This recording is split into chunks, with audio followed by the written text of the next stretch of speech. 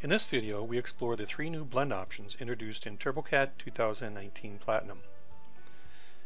The new blend options include a three-face blend, a fixed width blend, and a G2 curvature continuous blend. Let's begin by introducing the new three-face blend. A three-face blend creates a radial surface that completely consumes the middle face. If the middle face is constant width, you'll get a constant radial blend. If you're a woodworker, I like to think of this example as a full round. If the middle face varies in width, a variable radius is created. Let's create some examples demonstrating the three-face blend in action. Our first example is a simple stock piece of wood where we'll apply a full round.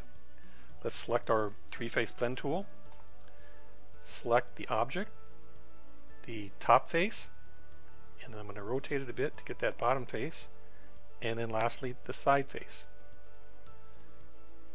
And there you can see our, our full round created across that edge.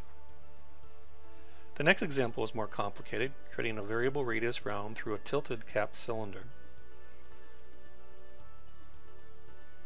Again, we'll select the bottom face, then the top face, and then the side face.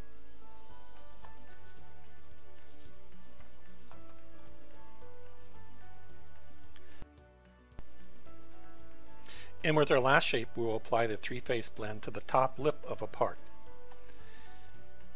In this case, we'll select the outside face, the inside face, and then the top face.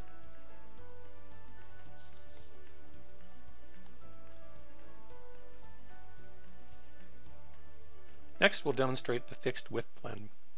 This option allows you to create a blend that specifies the distance between the spring curves. A spring curve is the edge introduced at the tangency of the blend and the neighboring surfaces. Since the distance between the spring curve is maintained as constant, the radius of the blend may change, and is hence is classified as a variable radius blend. Use this blend type if you want to have more control over the spring curves.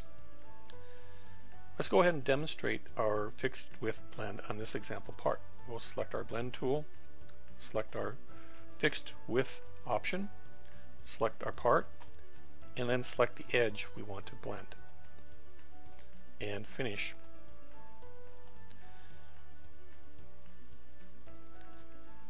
For comparison, let's create a constant radial blend on the protrusion at the bottom. Select our part, select the edge, and finish. And here you can kind of see the noticeable difference between a fixed width blend with where the distance is maintained between these spring curves and a constant radial blend where the spring curves have to move around quite a bit to maintain that constant radius. Our last new blend tool is the Curvature Continuous or G2 blend. A G2 blend describes mathematically how the blend surface matches up with the neighboring surface. Think of G0 as positional continuity, G1 as tangent continuity, and G2 as curvature continuity across the patch boundary. So why would someone consider using curvature blends? In some instances, there's a desire to meet certain design aesthetics, such as how light may be reflected between the blend and adjacent surfaces. Let's demonstrate this on the edges of an iPhone model. We'll select our blend, the curvature blend option. We'll select our model. We'll specify 2 millimeters for the radius. And then we'll select our blend. Likewise, let's do the same thing for the bottom. And lastly, let's display our smoothly blended objects in a render mode.